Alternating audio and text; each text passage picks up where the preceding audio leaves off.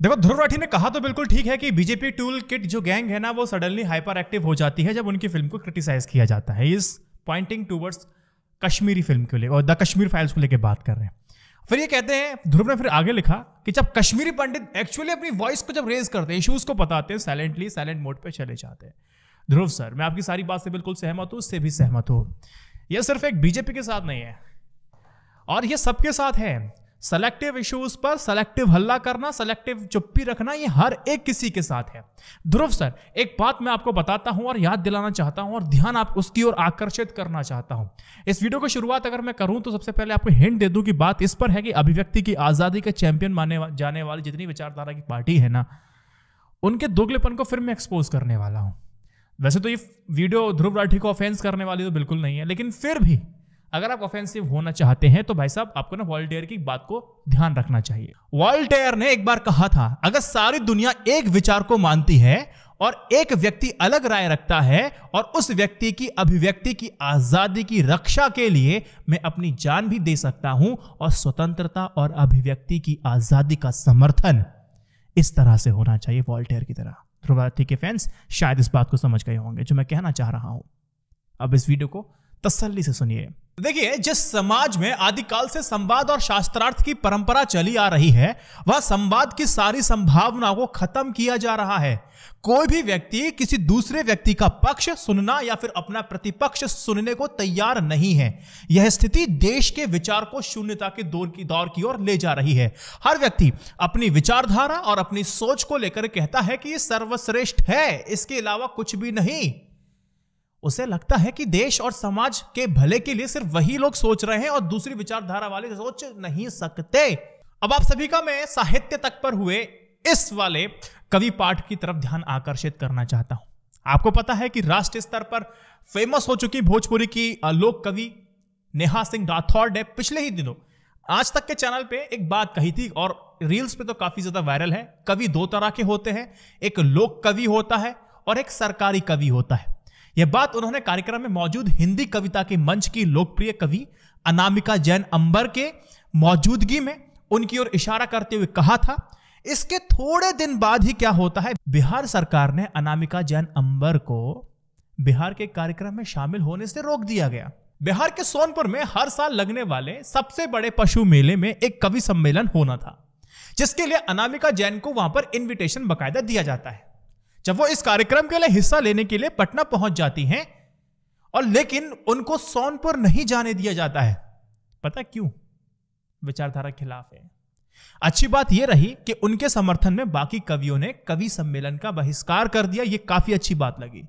यह सही है कि राज्य में जिस राजनीतिक गठबंधन की सरकार है ना, उसकी विचारधारा अनामिका जैन के विचारों से काफ़ी अलग है, यानी कि उनकी असहमति होती है सरकार की, अनामिका की विचारधारा से। लेकिन क्या यही एक बात है जो उनको बोलने से रोक देने के लिए पर्याप्त कारण हो सकती है? एक कवियत्री को इसलिए काव्य पाठ करने से रोक दिया गया क्योंकि वो एक एक पक्ष को, क्योंकि एक पक्ष उनको सरकारी कवि मानता है और उन्होंने उत्तर प्रदेश के मुख्यमंत्री योगी आदित्यनाथ के समर्थन में कविता लिखी थी। अनामिका जैन ने उत्तर प्रदेश के पिछले विधानसभा चुनाव में नेहा सिंह राठौड़ की, आपको पता होगा, कविता थी, यूपी में काबा।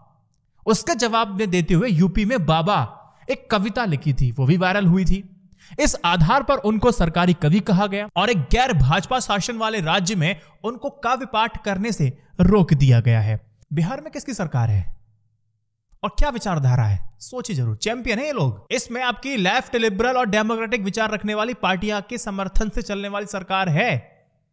और इसका समर्थन करने वाले तमाम बुद्धिजीवियों ने अपनी नैतिक ताकत कम कर ली है इस तरह के आयोजन पर रोक लगा करके। ये समझ में नहीं आ रहा। अब अगर देश में किसी राज्य में कुणाल कामरा वीरदास और इनके कार्यक्रम अगर रद्द होते हैं या फिर सुरक्षा कारणों से कहते हैं कि मुनवर फारूकी का कार्यक्रम रद्द किया जाता है या फिर अपने बौद्धिक ज्ञान की वजह से विकास दिव्य कीर्ति का बहिष्कार तो भी हाल फ़िलहाल में ट्विटर पर होने लगा था। ऋचा चड्ढा और अली अफजल की बात तो अभी सोशल मीडिया पर अभी तक चल रही है। अगर इनको निशाना बनाया जाता है तो कैसे ये पार्टियाँ और बुद्धिजीवी इसका विरोध करेंगे, ये मुझे आप बताइए। ध्रुव सर, आप भी बताइए।